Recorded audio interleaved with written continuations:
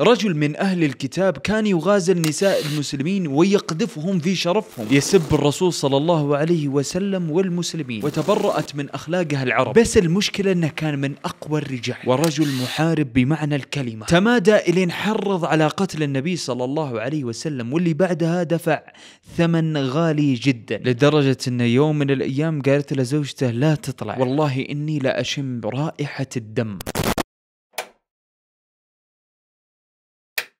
السلام عليكم ورحمة الله وبركاته. حياكم الله وبياكم. وجعل الجنة مأوانا ومأواكم.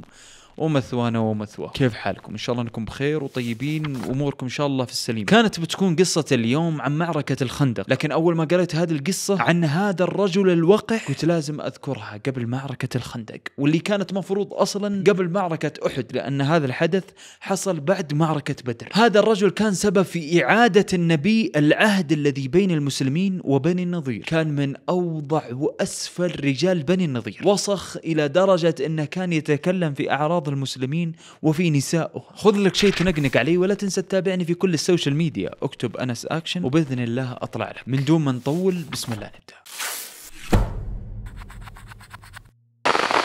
كان فيه رجل من أهل الكتاب اسمه كعب بن الأشرف. كان شاعر كبير البنية. وشديد الجمال. ومحارب من أقوى المحاربين. كانت نساء العرب تنفتن فيه. كبير البنية وجميل. ولكنه من أوقح الرجال. بعد معركة أحد حزن حزن شديد لقتلى قريش في معركة بدر. مع أنه يعلم قطعا في كتابه بأنهم مشركين. لا يدخلون الجنة حتى. بس ملة الكفر واحدة والكفار أولياء بعض. المهم أنه كان يكتب الشعر في موتى قريش.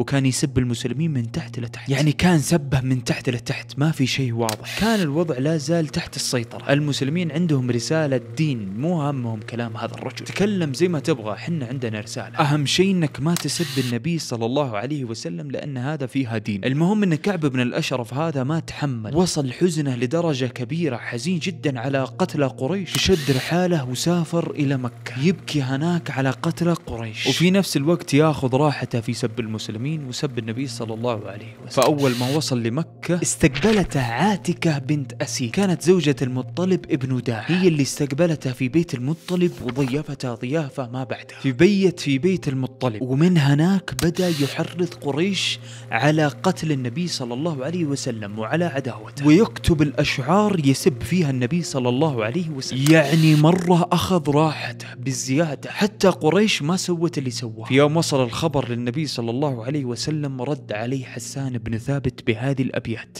ألا أبلغوا عني أسيدا رسالة فخالك عبد بالسراب مجرب لعمرك ما أوفى أسيد بجاره ولا خالد ولا المفاضة زينب وعتاب عبد غير موف بذمة كذوب شؤون الرأس قرد مدرب. كلمات قوية توجع. في يوم وصل لزوجة المطلب عاتكة رد حسان بن ثابت قالت ما لنا وهذا الكتاب؟ فطردت كعب من البيت. وكانوا قريش يسألون فتقول ألم ترى ما صنع بنا حسان؟ أبيات حسان جات على وتر حساس جدا. بس كعب خرج من بيتهم وراح لبيت شخص ثاني. ومن هناك بدأ يحرض ويسب. فجاته أبيات ثانية. أبيات من حسان بن ثابت. فأهل هذاك البيت طردوه من بيته. فكان كل بيت يأوي كعب بن الأشرف يطرد منه بسبب أبيات حسان بن ثابت. بعد الله سبحانه وتعالى. حتى ما عاد لقي أحد يبيته. كلهم خايفين من أبيات حسان بن ثابت. خايفين حسان بن ثابت يتكلم فيه. فما عاد لقي مأوى. صار يروح عند أي أحد يقفل الباب في وجهه. لدرجة أنه راح للطائف وكل أهل الطائف استقبلوه بالطرد. وكان الشعر عند العرب له أثر قوي. ووقع في قلوب الناس. يعني إذا كتبت أبيات في عائلة معينة الأبيات هذه تكون وسام عار لسنين قدام لأجيال جاية كان الوضع مرة حساس. فصار الجميع يعتار من كعب ابن الأشرف ما حد يبغى فاضطر إنه يرجع للمدينة لبني النضير فأول ما رجع بدأ الوضع يتوتر ويصير في مشادات واضحة. فبدأ الوضع يتوتر أكثر وأكثر وبدت العداوة تبان وتظهر منه يعني كل ما جعله يتحرش أكثر وأكثر. فصار كعب يتكلم في أعراض المسلمين ونسائهم. صار يغازلهم علني ويتكلم فيهم. ويتكلم في شرفهم. ويسب رسول الله صلى الله عليه وسلم وهنا الخط الأحمر. يعني بجاحته وصلت لهالدرجة. يعني حتى ما صار في خوف. في يوم وصلت بجاحته هذه لدرجة عالية. قال النبي صلى الله عليه وسلم اللهم اكفني ابن الأشرف بما شئت. في إعلانه الشر وقوله الأشعار فقام النبي صلى الله عليه وسلم في الصحابة وقال لهم من لي بابن الأشرف فقد آذاني. من لي يجيب لي راس ابن الأشرف؟ فقام محمد ابن مسلمة. فقال أنا به يا رسول الله. وأنا أقتله. محمد بن مسلمة هذا هو نفسه اللي ودى رسالة النبي صلى الله عليه وسلم لبني النضير في قصة إجلاء بني النضير وزي ما قلنا كان قريب جدا لبني النضير وقرابته هذه لبني النضير كانت تكمن في أن كعب بن الأشرف كان أخو محمد بن مسلمة من الرضاعة كانوا أخوان من الرضاعة كان الأمر جدا مناسب. كعب بن الأشرف ما حد يقدر يوقف قدامه. رجل من أقوى القوم. وشاعر يعني ذكي. ما تقدر تستغبيه يعني. وعادة إذا تبغى تقتل أحد لازم تستغبيه. وهذا الرجل شاعر ما يمديك تستغبي شاعر. لأنه بيكون ذكي جدا. فجلس محمد بن مسلمة يفكر في فكرة. ويخطط في خطة ليقتل كعب بن الأشرف. فجلس يفكر ويفكر ويفكر إلين انسدت شهيته. انسدت شهيته من كثر التفكير. وصار ما ينام وباين في وجهه تعب تعب التفكير. فبعد ثلاثة أيام من هذه الحالة شافها النبي صلى الله عليه وسلم على هذه الحالة. فقال له النبي صلى الله عليه وسلم يا محمد تركت الشراب والطعام؟ فرد محمد بن مسلمة. يا رسول الله قلت لك قولا لا أدري أوفي لك به أم لا؟ قلت لك قول يا رسول الله ما أدري بوفي به ولا لا؟ فقال له رسول الله صلى الله عليه وسلم عليك الجهد سوي اللي تقدر عليه. وشاور سعد بن معاذ في أمره. هداه النبي صلى الله عليه وسلم. فكان النبي صلى الله عليه وسلم مثل الأب مع أبناء أخلاق تربوية. ما قال له تقول لي كلام وما انت قده يعني؟ ولا خلك قد كلامك. لا. كانت معاملته مثل الأب لابنه. اللهم صل وسلم عليه. ففعليا راح محمد بن مسلمة واجتمع مع مجموعة من الأوس. قيل بأنهم عشرة. وكان منهم أبو نائلة. وأبو نائلة هذا كان برضو أخو كعب بن أشرف من الرضاعة. يعني محمد بن مسلمة وأبو نائلة كلهم أخوانه من الرضاعة. فراحوا للنبي صلى الله عليه وسلم وقالوا له يا رسول الله عندنا خطة. اتفقنا على خطة. ونحن سنقتل. لكن يا رسول الله نخشى أن نقول فيك شيء نعذبه في الآخر فأذن لنا يا رسول الله فلنقل فإنه لا بد لنا منه. يا نسب الإسلام يا نكون ضدك. أقل شيء أمامه. فقال النبي صلى الله عليه وسلم قولوا. خلاص الحين الخطة ظابطة. بس عليهم أنهم ينفذون. راح أبو نائلة لكعب فدخل عليه وهو في نادي من قوم. مكان حق جلسة فلة سوالف. يعني زي الاستراحة أو الديوانية الحين. بس أول ما شافه كعب عرفه هذا أبو نائلة أخي من الرضاعة اللي أسلم. فخاف إلى درجة أنه أزرق وجهه. فكر إنه كمين. بس أول ما دخل أبو نائلة قال أخي كعب مالي وجهك. وكأن ملامحك صمتت. أتيتك بحاجة. فهون عليك يا كعب هون عليك. أنا جايك لحاجة. فأخذ نفس كعب وهدي شويتين. وارتاح. واطمأن للموضوع. المهم إنهم جلسوا يسولفون. فكان أبو نائلة يقول له كم بيت من الشعر؟ وينبسط كعب ويفرح لأنه شاعر كان فيخلص أبو نائلة من أبياته هذه ويقول له كعب وش حاجتك خلص علي. أنت قلت لي إنك جاي بحاجة فخلص علي. فيرجع أبو نائلة ويقول له بيتين وفيها من تحت لتحت. يعني آه، ما أقدر أقول لك إياها الحين بسبب الناس اللي حولي ينبسط كعب من الشعر انبسط مرة. فرح لين في الأخير قال كعب بن الأشرف. لعلك تحب أن يقوم من عندنا. تبغى السالفة بيني وبينك يعني؟ أخيرا فهمها أول ما سمعوا اللي عنده هذه الكلمة قاموا وحس ان الأمر حساس يعني. الأمر بينه وبين أبو نائلة حساس. فما لهم داعي إنهم يجلسون. فقال أبو نائلة أما يا كعب والله إني كرهت أن يسمع القوم. ذروا كلامنا فيظنون. ما حبيت ال- القوم يسمع الكلام اللي بيني وبينك؟ على مسألة إني جايك بحاجة وطلب يعني. كرامتي ما بتخليني إني أطلبك الطلب هذا اللي بقول لك إياه الحين. والقوم يسمعون يعني. يا كعب كان قدوم محمد هذا علينا بلاء. وحاربتنا العرب ورمتنا عن قوس واحدة وتقطعت عنا السبل. أما حاجتي فهي أن محمد أخذنا بالصدقة. ولا نجد ما نأكل هذه الحقيقة يا كعب. أنا جايك أطلب الأكل للأسف. فقال كعب. قد والله كنت أحدثك بهذا يا أبو نائلة. أن الأمر سيصير إليه. قلت لك ما بتستفيدون منه غير الجوع والشتاء. ولكنكم لا تسمعون القول. فرد عليها أبو نائلة. أما إني لست وحدي. معي رجال من أصحابي على مثل رأيي. كلهم يكرهون محمد ويعيشون الفقر. فقد أردت أن آتيك بهم. فنبتاع منك طعاما أو تمر وتحسن إلينا في ذلك. وأنت كريم ابن كريم. تعطينا على أن نرهنك ما تريد وما يكون لك فيه ثقة. يعني تعطينا أكل بمقابل أن نرهنك شيء؟ يكون عندك إلين نعطيك حق هذا الأكل. فماذا تقول يا كعب؟ قال كعب مم. تمر. عندي لكم تمر. على كيف كيفكم. تغيب فيه الضرس. من طراوته. أما أنا والله يا ابن نائلة. ما كنت أحب أن أرى هذه الخصاصة والفقر فيك. وإن كنت من أكرم الناس علي. أنت أخي. أنت أخي ونازعتك الثدي. قال أبو نائلة هذا اللي عندي يا كعب. يا كعب أنت كريم ابن كريم. عندي عندي طلب. أكتم عنا ما حدثتك من ذكر محمد. لا تطلع الطاري هذا لأحد. كلامي معك عن محمد هذا يبقى بيني وبينك. أرجوك لا حد يدري إني معادي محمد. فرد كعب لا أذكر حرفا عندي.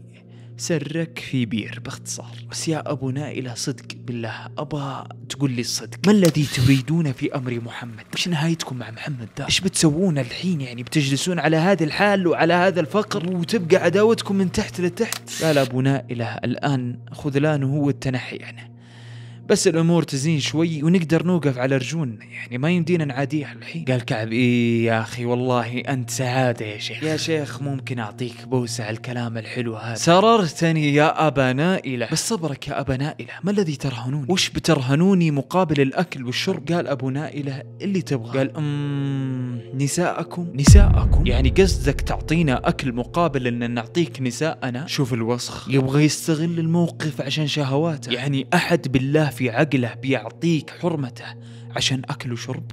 الله لا يكرم فضلك. زعل ابو نائله زعل قوي في لحظتها. يعني هذه حتى مين من أخلاق العرب. ما تقول هذا الكلام ابدا. زعل ابو نائله بس تمالك نفسه. وقال يا كعب أنت من أجمل القوم. فما نقدر نعطيك نساءنا. يعني أنت صاحي نعطيك نساءنا وأنت أجمل القوم. يعني يرفع فيه شويتين. فقال كعب "مم، خلنه يفكر بالله اصبر لي شويتين.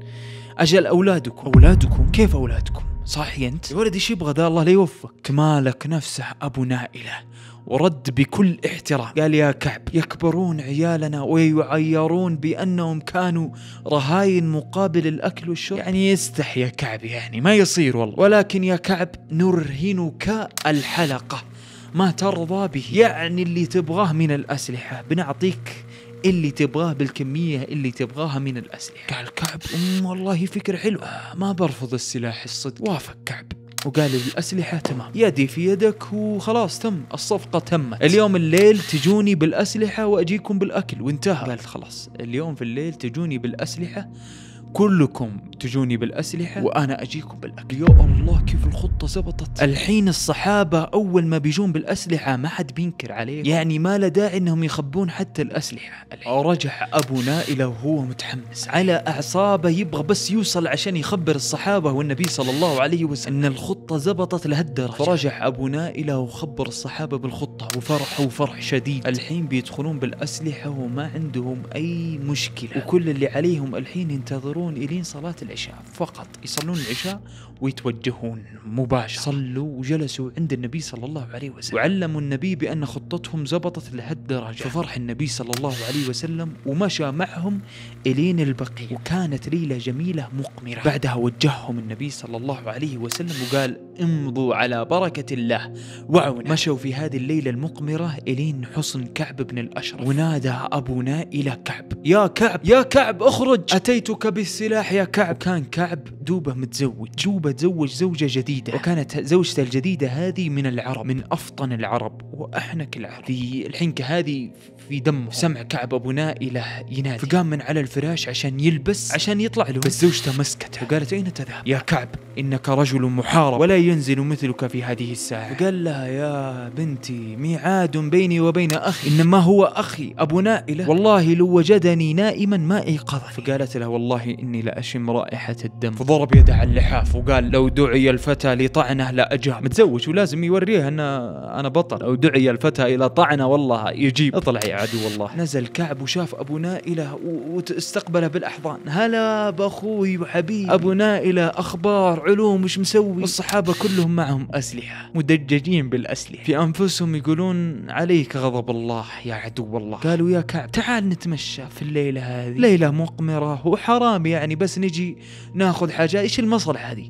لازم تيجي نتمشى. شويتين كذا نسولف نطلع اللي في قلبنا. يعني بعد إسلامنا كذا تفرقنا كذا فيعني نبغى نسمع علومك وش اللي حصل لك. فمشوا به إلين خرجوا خارج الحصن. الحين متجهين في الصحراء. خلاص الموقع الحين تمام. فقعدوا يسولفون وكيف الحال وطيب وأخبار وعلوم وينك مختفي عنا. يقول والله تعرفون دوبي متزوجت يعني وزوجتي كذا وكذا من النسل الفلاني فقال أبو نائلة عشان كذا في ريحة عطر حلو. ويحك ما أطيب عطرك هذا يا كعب. قال كعب أكيد ريحتي حلوة كيف ما تكون ريحتي حلوة وتحتي اجمل النساء يعني شوف حتى متكبر في السوالف المهم انهم مشوا واخذتهم السوالف في الليلة المقمره هذه وفي الصحراء فقال ابو نائله لا لا لا لا العطر هذا شيء ثاني الحقيقة لازم أشم إيش العطر هذا؟ ما أطيب عطرك يا كعب. تسمح لي أشم راسك بس؟ قال كعب شم راسي خذ راسي وشم. استمتع بالعطر. استمتع بالعطر الجميل. فدخل أبو نايلة يده في شعره. وهو ينظر في الصحابة. ويطلع يده ويشمها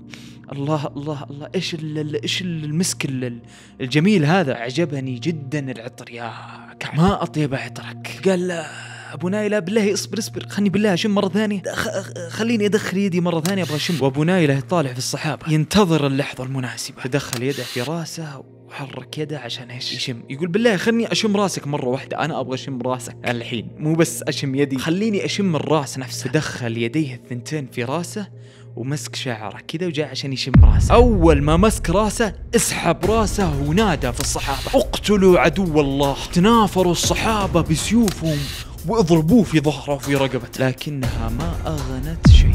ولا كأنهم يضربون في جسد طلع يوم قالت له زوجته إني أشم رائحة الدم لبس دروع على ظهر عشان ما يغتال ولا يطعن. بس خلى المنطقة هذه فاضية. من الصدر والبطن. في يوم سمع كعب إنهم بيغتالونه مسك ابو نائله وضمه له. سحبه وضمه على جسمه واستخدمه كدرع من الأمام وعنده درع من الخلف. صار ابو نائله يعني جالس يعطيه حق غصبا عنه. جالس يصارعه ابو نائله وهذولك يضربون بالسيوف في ظهره. بس ما تغني ضرباتهم شيء. وابو نائله يصارعه من الأمام يصارعه يصارعه. فتذكر ابو نائله في حديدة حادة عنده في السيف.